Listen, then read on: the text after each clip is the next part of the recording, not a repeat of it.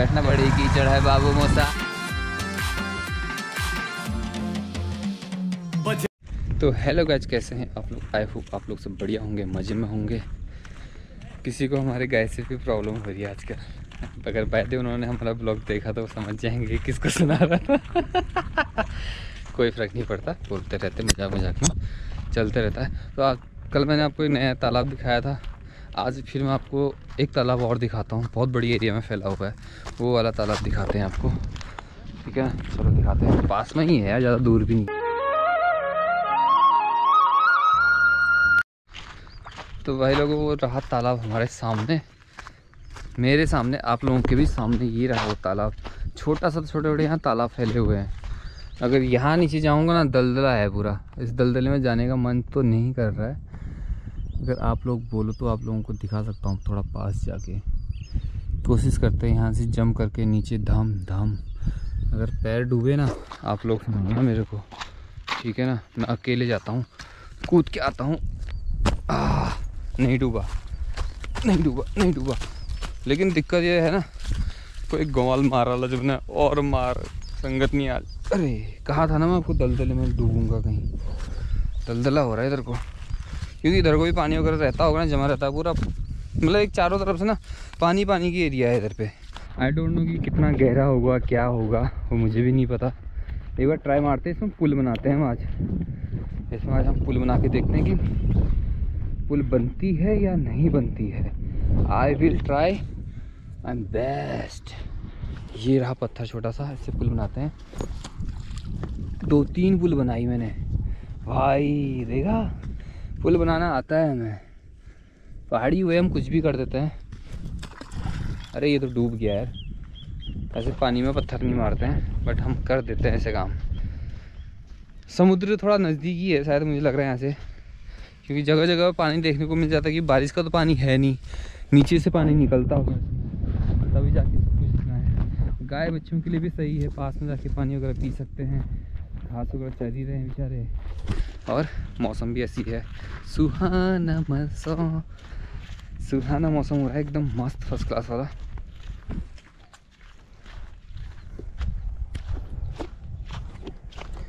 बादलों से फिर से घिरे हुए हम। कभी इन बादलों के ऊपर घुमा करते थे, कभी इन बादलों से नीचे। क्या ज़िंदगी है ना। ज़िंदगी में उतार चढ़ाव आते रहते हैं और छोटे छोटे ये देखो, गड्ढे, पानी के और यहाँ से अपनी कंपनी स्टार्ट होती है थोड़ा सा आगे भी जाके कम से कम दस मीटर या पाँच मीटर की दूरी पे अपना प्लांट पूरा इधर लगा हुआ है। अभी ये दीवार लग रही है तो इससे पहले हमने कहा एक बार विज़िट कर लेते हैं। विजिटर के तौर पे आए हैं तो विज़िट कर लेना चाहिए। ये देखो भाई, पूरे ब्रिक्स वगैरह आ रखे इधर पे। ये दीवार बनेगी, पूरी चार दीवारी होगी, ये अंडरग्राउंड हो जाएगा सब कुछ सब सन्नाटा बट्टा हो जाएगा समझे मैंने क्या कहा? समझदार के लिए सारा काफ़ी, बच्चे के लिए गुब्बारा काफ़ी। और आप लोग तो समझदार हो ही हो। तो कुछ और नया भी दिखाते हैं आपको हाँ। फिर जम कर लेते हैं। आ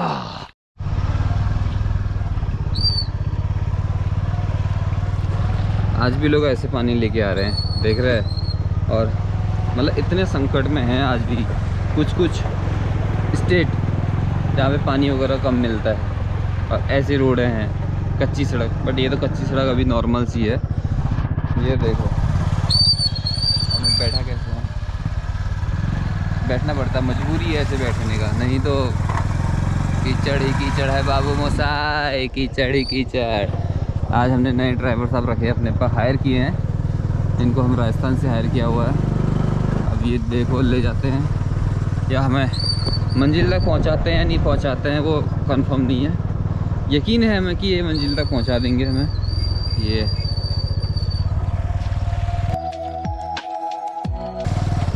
इधर भी नहर, बगल में भी नहर, बीच में रोड।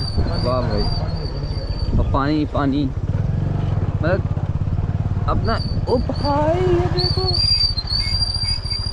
चल दे चल दे चल दे चल दे, शाबाश। तुझे लाइसेंस मिल जाएगा आज। आज दिला दूँगा तेरे को लाइसेंस चलाऊँगा नहीं। नहीं नहीं आज लाइसेंस दिला दूँगा तेरे को। आज को लाइसेंस दिलाना है। और इधर भी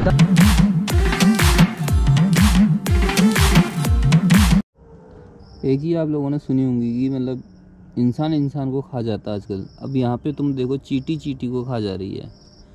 जब मरते हुए चीटी को पंख लगते हैं तो दूसरी चीटी इसको खा जा रही है। ये देखो दो पंख गिरा दिए उसके। तीसरा पंख गिराने की बारी है। ऐसी तो आजकल की ज़िंदगी है लोगों की, जानवरों की हो, किसी की हो, सबकी सेम है। इंसान इंसान को खा जाता है, चीटियाँ चींटियाँ को खा जाती हैं। मरते हुए चीटियों को पंख लगते हैं, बोलते ना। हमारे यहाँ पे एक पहाड़ी कहावत है, मरण बखत किरमोयुगुला फांक लग जानी है। वही हिसाब है कि किसी का जब अंतिम समय आता है, उसको उस समय पंख लगने लग जाता है, वो ज़्यादा उछलने कूद करने लग जाता है। ये देखो। अब ये चींटी को कभी पंख लगे आज तक? लग जाते हैं जब मरने का समय आता है। क्या कहें? होता है। ये देखो। भाई साहब मरते समय भी पंख तो देख सकते हैं सुबह सुबह बंदा दाढ़ी बनाने को तैयार है। हाँ तो क्या करें और? काम तो करना ट्रिमर नहीं है क्या तेरे पास में? ट्रिमर नहीं लाए ना ये तो मैं तो आपको सैलरी आने के बाद लेके आएँगे कहाँ से नहीं अच्छा सैलरी भी नहीं मिली? उधर से दो महीने की बाकी कंपनी की भी। हम्म। वो आएगी तब होगा ना। बोल रहे एक दो दिन एक दो दिन कर रहे हैं।